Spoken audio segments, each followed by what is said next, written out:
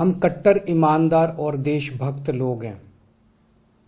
हम लोग भ्रष्टाचार को देश के साथ गद्दारी मानते हैं। सर कटा सकते हैं वो भ्रष्टाचार नहीं करेंगे। देश के साथ कभी गद्दारी नहीं कर सकते। अभी कुछ दिन पहले पूरे देश ने देखा किस तरह हमने पंजाब में अपने ही एक मंत्री को खुद ब खुद बर्खास्त करके जेल भेज दिया।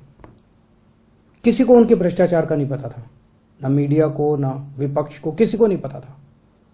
हम चाहते तो पूरा मामला दबा सकते थे, लेकिन हमने ऐसा नहीं किया। हम देश के साथ गद्दारी नहीं कर सकते। हम अपनी आत्मा का सौदा नहीं करते। 2015 में भी एक ऐसा ही वाक्य हुआ था, जब मैंने खुद ब खुद अपने खाद्य मंत्री को बर्खास्त करके सीबीआई को सौंप दिया था। तब भी किसी को नहीं पता था।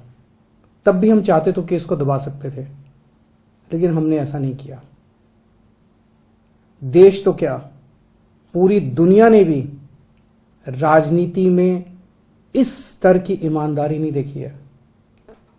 जिस दिन पंजाब के हमारे मंत्री को हमने जेल भेजा, बहुत लोगों के फ़ोन आए।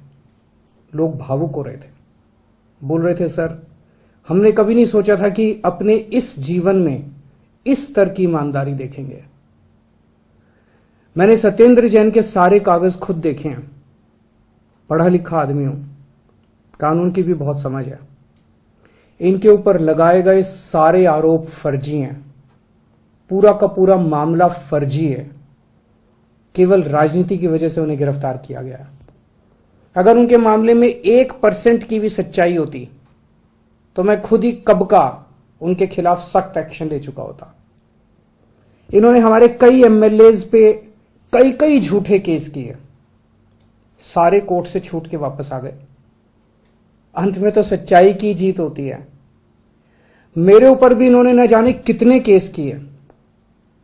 मेरे ऊपर इन्होंने कितनी बार रेड करवाई, कुछ नहीं मिला।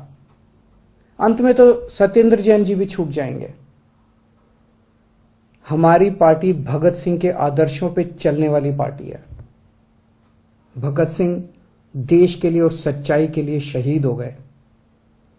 देश के लिए, समाज के लिए जेल जाना दूषण नहीं होता, भूषण होता है। और आम आदमी पार्टी का एक एक कार्यकर्ता समझता है कि आम आदमी पार्टी में रहना है तो हमेशा जेल जाने के लिए और अपनी जान कुर्बान करने के लिए तैयार रहना होगा।